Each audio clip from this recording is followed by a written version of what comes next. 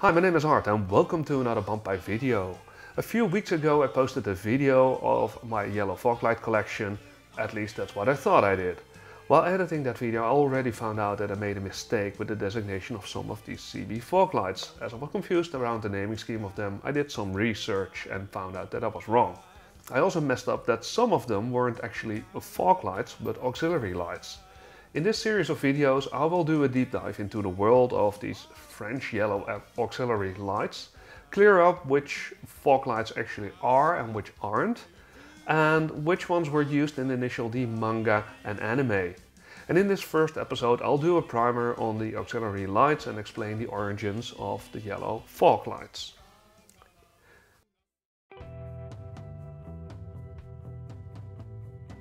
Many producers of auxiliary lights, yellow or not, like Bosch and Hella exist, but well, most of the yellow ones are produced by Cibie and SEV Marchal, and these two companies are French. Now, you may ask where do these yellow fog lights come from? Well, the light color is actually selective yellow, and that's a very specific color of yellow that you cannot well, it's really difficult to show it on RGB because it's a, it's a particular color that cannot be reproduced on a screen. The purpose is to uh, remove the short wavelength of blue and ultraviolet light and that's also why it's so difficult to show the exact color of the light. The short wavelength of blue and ultraviolet light creates glare in rain, fog and snow and this is not very good if you're driving uh, through a snowstorm and you get a lot of glare from your uh, headlights or uh, high beam or low beam.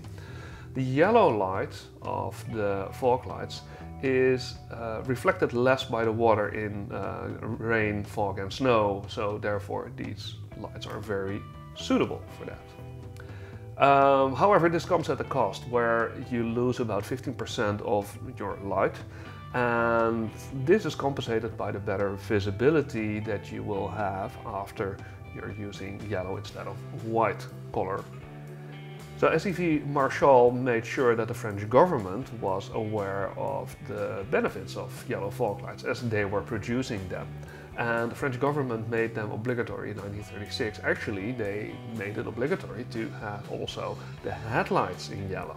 And this was supposed to be for better visibility, uh, but there's an urban legend that says that the French government actually wanted to distinguish French cars from foreign cars during wartime. Well, yeah, that's kind of under debate. You can just swap your bulbs or add some film layer on top of the headlights and you can confuse those French soldiers. I mean, doesn't make sense. Well, what is making sense is that it remained obligatory in France up until 1993 and that's when the EU actually told them you actually have to use white headlights. Now don't worry about it, these yellow fog lights are still allowed to be used in Europe and also in the US.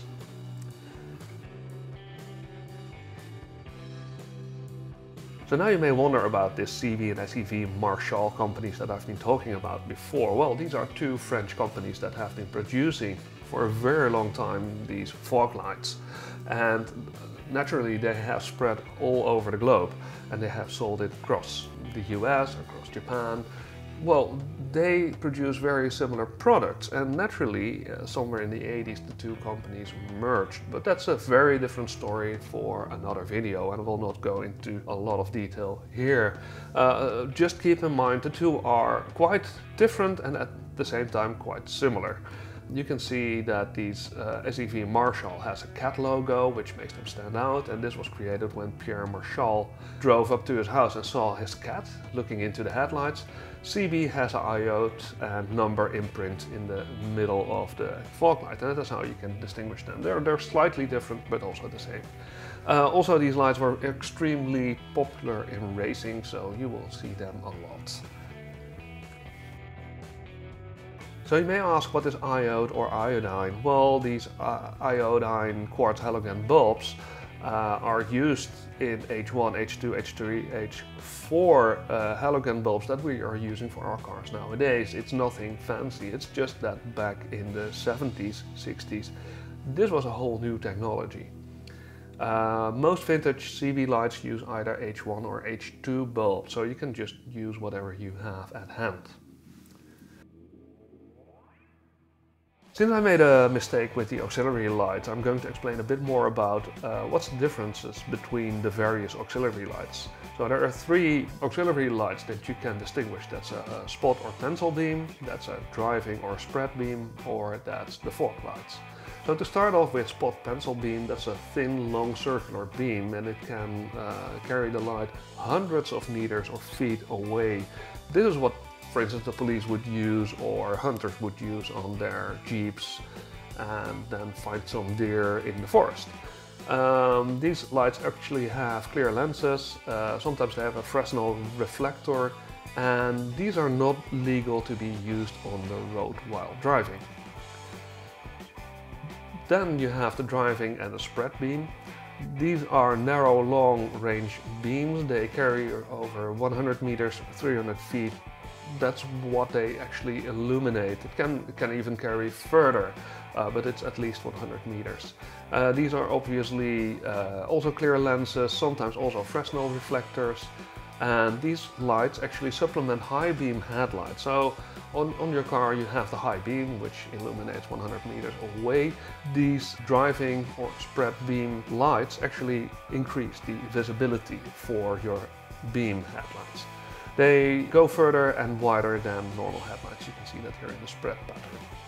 Then we have fog lights. Fog lights have a short, wide beam, 10 meters away, 30 feet in length. And of course the, the light travels further than this, but the, the, the majority of the spread will be 10 meters away. Um, these fog lights have actually a Fresnel lens. Um, they're, they're actually mounted below the headlights to make them as low as possible to be able to spread the light underneath the fog or underneath the rain.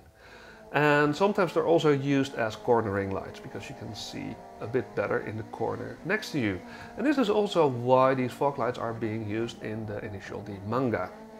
More about that in a later episode. Uh, they also work in tandem with your primary headlights. Uh, they're wider and closer than headlights, uh, so they illuminate a lot better.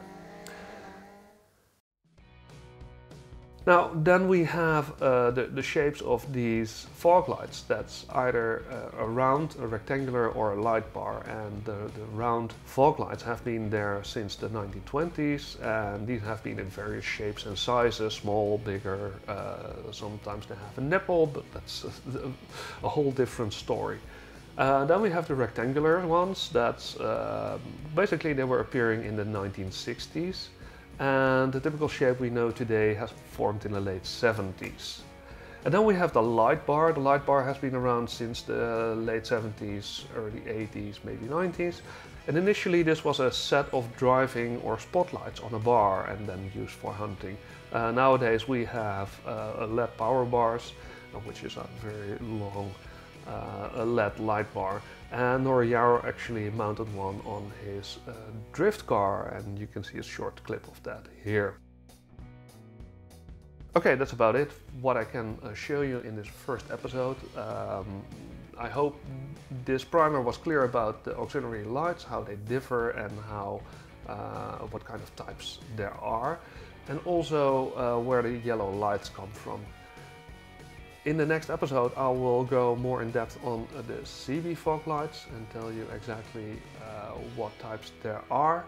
Uh, and I'm going to do another video on SEV Marchal and not sure whether that video will be preceded or succeeded by a video on the initial D fog lights. So that's it. Uh, thank you for watching and I hope to see you soon. All right.